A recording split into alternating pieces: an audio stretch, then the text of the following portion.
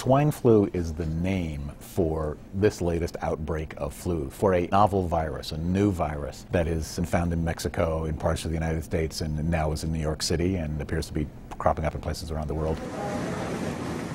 It's a new virus because it has genetic pieces of the virus that are, are largely swine in origin. Nothing to do with pigs. Unless your bacon gets up and sneezes on you, there's absolutely no way to catch swine flu from pork or pork products. It's actually not just a swine flu. It has pieces of American swine, Eurasian swine, um, American human flu, and American bird flu. And it's a bizarre mixture of these. Now, that's not uncommon with flus. Flus mix.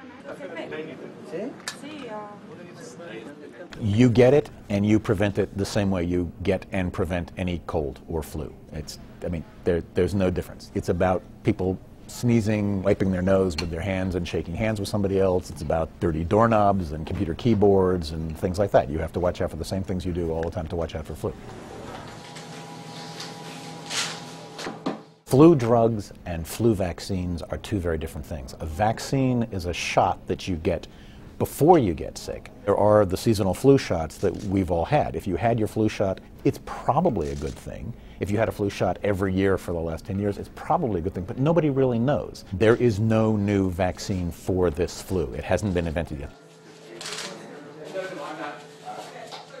Tamiflu is the one that everybody talks about. This flu does seem to be susceptible to Tamiflu. The other fear is that there is a regular seasonal H1N1 flu that's been circulating all year. It has Tamiflu resistance. So the fear is that this new H1N1 swine flu will cross with the seasonal H1N1 flu and produce a version that is Tamiflu resistant. That's one of the big fears virologists have, but as far as I know, it hasn't happened yet.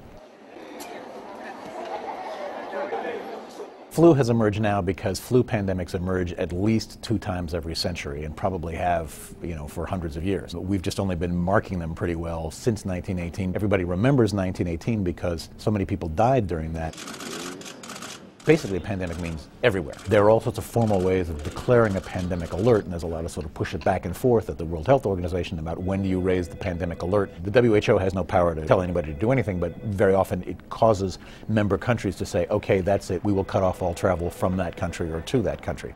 I would like to uh, inform you uh, that today both the CDC and the State Department uh, will be issuing uh, travel alerts uh, related to swine flu uh, and related to travel to Mexico. This flu scares virologists. Something like 36,000 people die of flu every year in this country, but it is mostly old people. This flu is remarkable because they noticed in Mexico that it seemed to be attacking a lot of young, healthy people. And that's a characteristic of pandemic flus. We're now in the season in which flus don't get transmitted very well. We're getting into warmer weather. Um, so I talked to a doctor yesterday who said, this is going to be nothing but when it comes back in the fall and winter, look out he might be right, he might not. You never know. And flu is one of the most unpredictable things in the world.